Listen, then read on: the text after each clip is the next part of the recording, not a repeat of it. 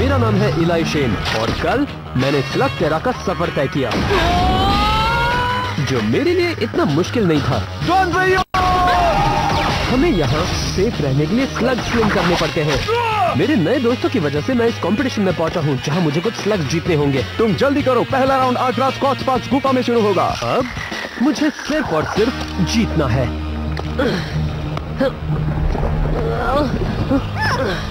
बाबा रे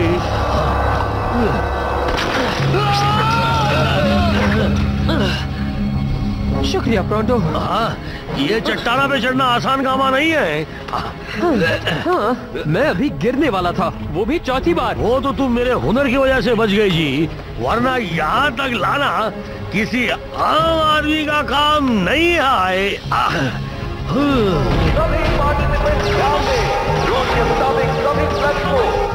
बढ़िया। तुम दोनों अब तक कहाँ रह गए? लावा रेजर शार्प क्लिप्स और एक सुस्त मोलेनॉइड जिसकी वजह से हमें देर हो गई। क्या? मैं तो तेज चला था ना। पर तुम सीधे रास्ते से क्यों नहीं आए? क्या? यहाँ आने के लिए रास्ता भी है? आज अब मेरे साथ हो तो तुम्हें डरने की कोई ज़रूरत नहीं। मैं तो बस तुम्हारी बुराई से लड़ने के लिए तुम्हें ट्रेन करना चाहता था। अच्छी बात यह है कि तुम पहुँच गए। अब सवाल यह है कि तुम्हारा मुकाबला किससे है?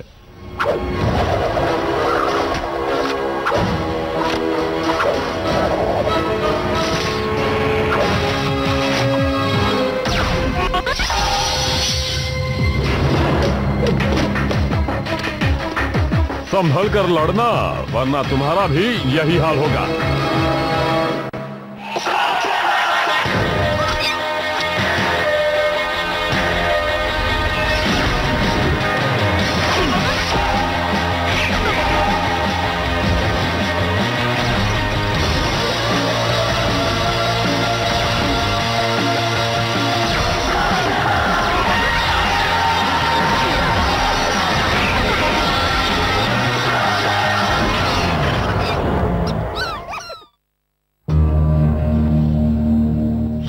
कर ये लावा लेस तुम्हें जलाकर राख कर सकते हैं आई जी अरे बाप रे वैसे ये बहुत खतरनाक था पर साथ ही उतना ही मज़ेदार भी। हाँ। द्वंद्व युद्ध के लिए ये हमेशा ऐसी खतरनाक गुफाएँ चुनते हैं क्या? अरे पागल मत बनो। टूर्नामेंट का हर एक मुकाबला अलग अलग गुफा में ही होता है। शायद सबसे खतरनाक गुफा उन्होंने फाइनल मैच के रखा होगा। हे गॉड सब लोग किस लिए खड़े हैं? तुम्हें नहीं लगता की हमें मुकाबले की तैयारी करनी चाहिए?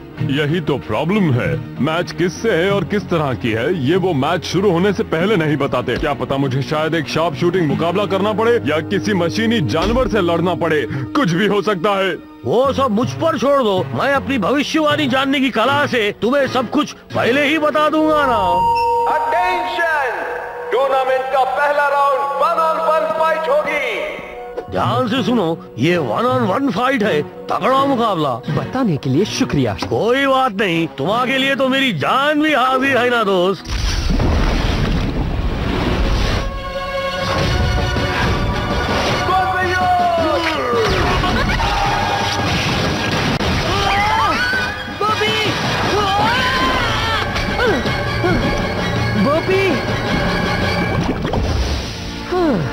कभी बताया नहीं कि तुम्हें लावा से परेशानी नहीं होती? हाँ, अब नहीं बचोगे। ये वाला मैंने सबसे आखिर के लिए रखा था।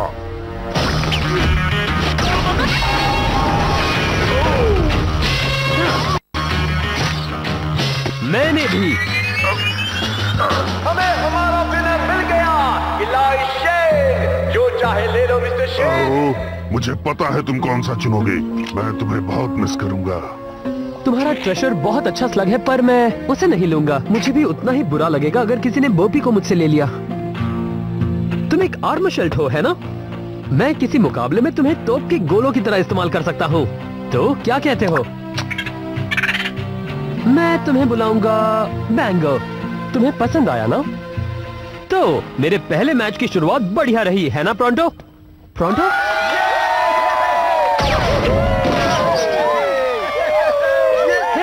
तो तुम यहाँ हो। हाँ हाँ हाँ हाँ बोलो, मैं यहाँ हूँ। तुम हार गए तो मैं कोई नई नौकरी नहीं ढूंढ रहा, पर तुम्हें देखकर लगता है कि तुम जीत गए हो। तो क्यों ना हम एक दूसरे पर इल्ज़ाम लगाना बंद कर दें जी, और आगे के मुकाबले के बारे में सोचें।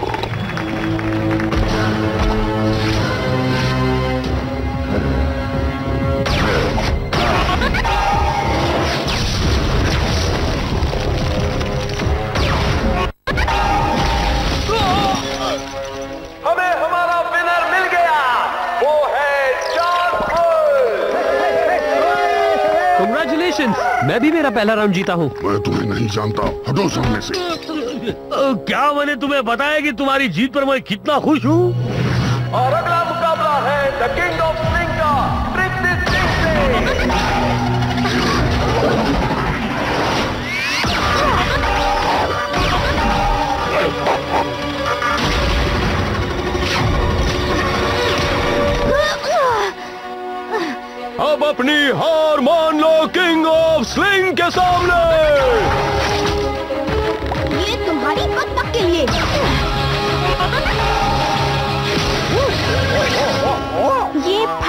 फड़फड़ाने के लिए। और इस वाले से मेरी जीत पक्की। इस राउंड की विनर है ट्रिक क्या बात है? पर लगता है कोई हार गया है ना? सही कहा। तुम्हें देखना चाहिए था कैसे मैंने उसे धूल चटाई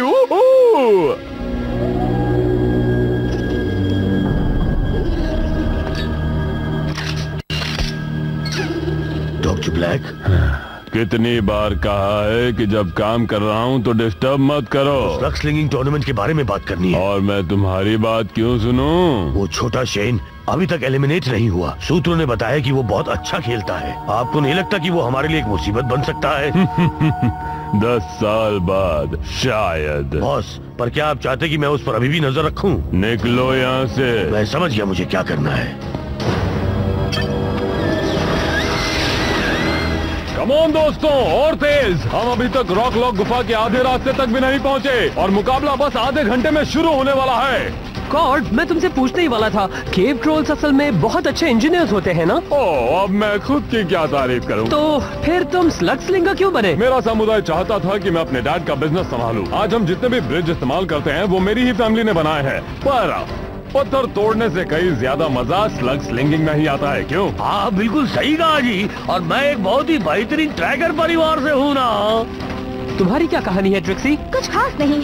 मैं थक चुकी थी ये देखकर कि कुछ बदमाश मेरे घर में घुसकर परेशान कर रहे थे। आखिर शेन की जगह किसी न किसी को तो लेनी ही थी। मेरे अलावा कोई भी इस काम को करना नहीं चाहता था। इसलिए मैं फ़िल्म बनाती हूँ ताकि लोगों को पता चल सके कि फ्लैटेरा में क्या अच्छा हो रहा है और क्या बुरा। और एक्सप्लोर करना मेलेनॉइड की सबसे बड़ी कला है जी। इससे मुझे याद आया। हम सब आखिर है कहाँ प्रोंटो मैं तुम्हें एक शॉर्टकट से लेकर आया हूँ ना। वो तो शेडो क्लैन मार्किंग है। क्या ये उनका इलाका है? है नहीं था पर अब कई सालों से उनको किसी ने नहीं देखा। दोस्तों मुझे लगता है अब वो वापस आ गए हैं। कौन शेडो क्लैन मुझे हमेशा से उन्हें देखना था। और अगर तुम उनके जरा भी नज़दीक गए तो तुम उन्हें पहली और आखिरी बार देखोगे। तो अब क्या करें? भागो! भागो जी! इलाई क्या कर रहे हो? भागो यहाँ से! तुम लोग यहाँ से निकलो। मैं उनका ध्यान बटाता हूँ।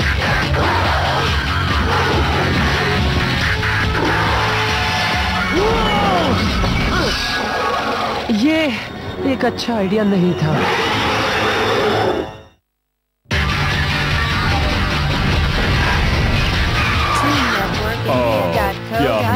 उसे बचाना चाहिए।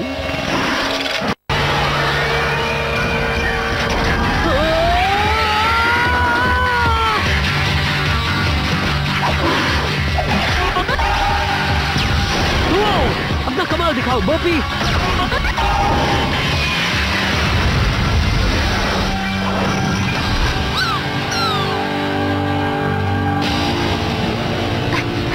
तुम सोच क्या रहे थे? पता नहीं मैं क्या सोच रहा था। मेरे डैड कहते थे कि उनसे निपटना आसान है। जब वो गुफा की रक्षा करते थे तब उनका हमेशा इनसे सामना होता था। हाँ पर तुम्हारे डैड थे विल शेन और तुम बहुत बड़े पागल। रॉक लॉक गुफा। उम्मीद है कि इस राउंड में कुछ अच्छा होगा। और अगला राउंड है three on three team fight अपने अपने पार्टनर्स चुन लो। तो क्या ख्याल है? ओ चलो भी ये इतना भी बुरा नहीं है।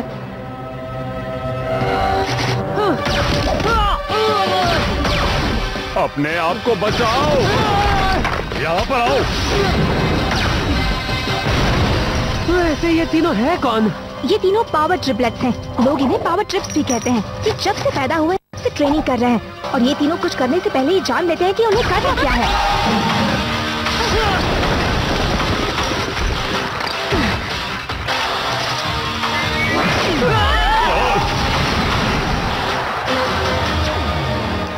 हाँ तुम सवा मैच का मज़ा ले रहे हो। वो भले ही विलशेन का बेटा है पर उसे ये सारी चीज़ें मैंने ही सिखाई है ना।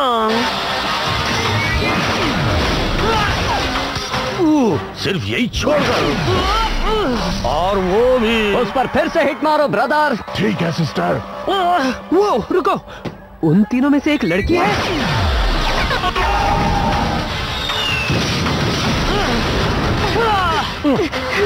हमें भी उनकी तरह एकजुट होकर लड़ना चाहिए। अपने स्लग्स दिखाओ। कॉर्ड तुम फॉस्फरो का इस्तेमाल करो। ट्रिक्सी आर्केंड हमारे काम आएगा। उसके बाद बारी है बैंगा की। एक नए स्लग को समझने में कई हफ़्ते लग जाते हैं इलाय और कभी कभी तो महीने। तुम शूट तो कर लोगे पर अंजाम देना बहुत मुश्किल होगा। ऐसा ज़रूरी नहीं कि तुमने जो स्लग जीता है वो वैसा ही करे जैसा तुम चाहते हो। मैं जानता हूँ मैं ये पहली बार कर रहा हूँ पर मुझे इस पर पूरा भरोसा है। कॉर्ड तुम उनका ध्यान खींचो। मेरे इशारे पर इंतज़ार करना। जाओ। उम्मीद है हम इसमें कामयाब होंगे। वो देखो।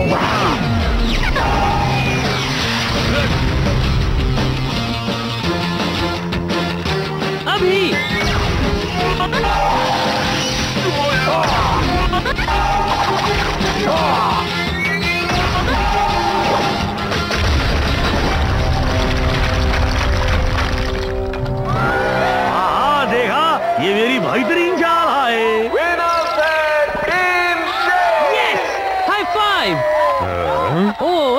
भी सब लोग देख रहे हैं।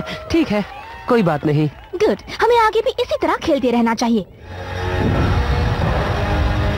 ये बात गलत नहीं होनी चाहिए मॉरिस।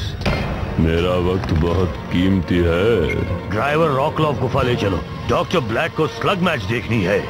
तो चलो देखते हैं कि इस नए शेन में कितना दम है।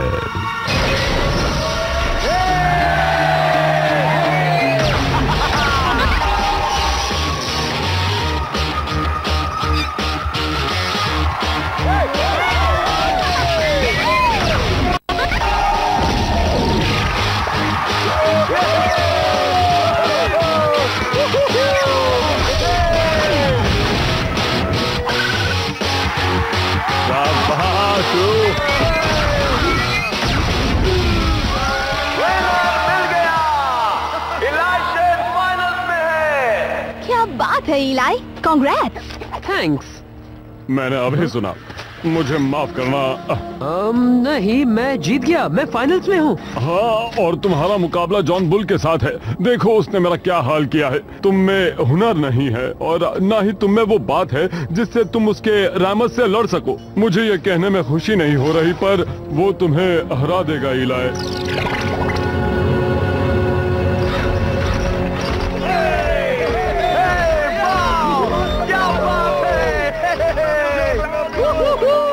इलाइशन ऑटोग्राफा नहीं दे रहा।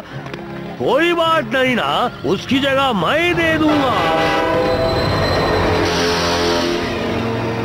द स्लग टेरेनियन एक्सप्रेस और उसमें देखो पैसेंजर कौन है।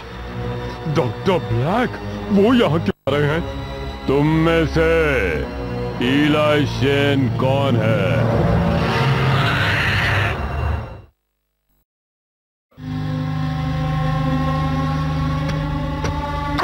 शांत रहो बब। वैसे ये है कौन? डॉक्टर थारियस ब्लैक तुम्हारे पापा ने कभी बताया नहीं? लोग कहते हैं कि आखिरी बार तुम्हारे डैड को इसी ने देखा था। अभी अभी जो तुम्हारे दोस्तों ने कहा वो सच है। विलशेन एक सच्चा हीरो था।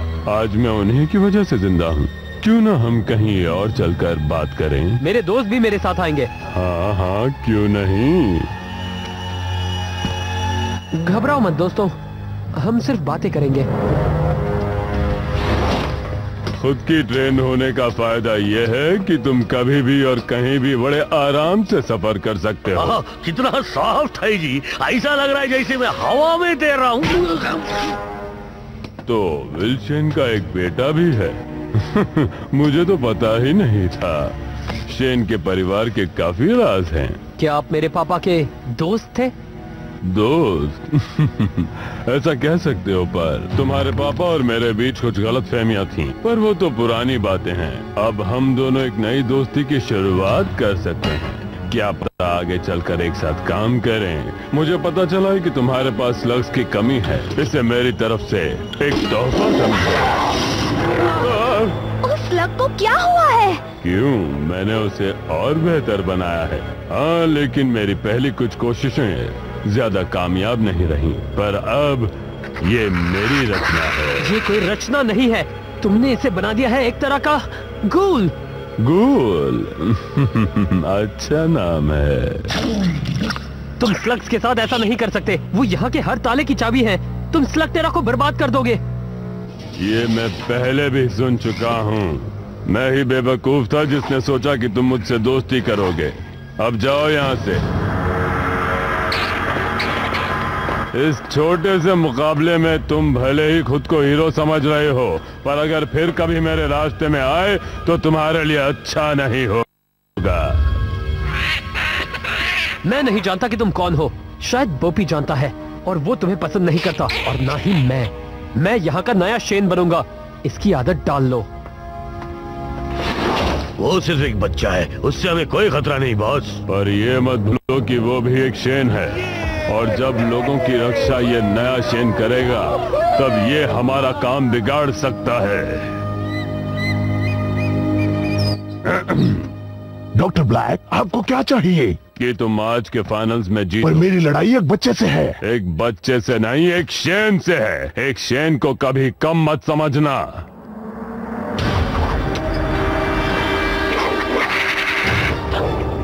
मुझे तुम्हारे ये स्लग्स नहीं चाहिए। अपनी हद में रहो वरना तुम जानते हो मैं क्या कर सकता हूँ। तुम इसे उस बच्चे के खिलाफ इस्तेमाल करोगे!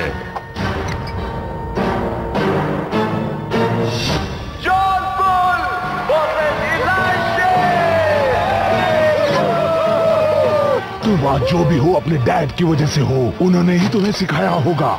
शायद तुम नहीं जानते मेरे पापा कब के जा चुके हैं और मुझे ये चलाना किसी ने नहीं सिखाया।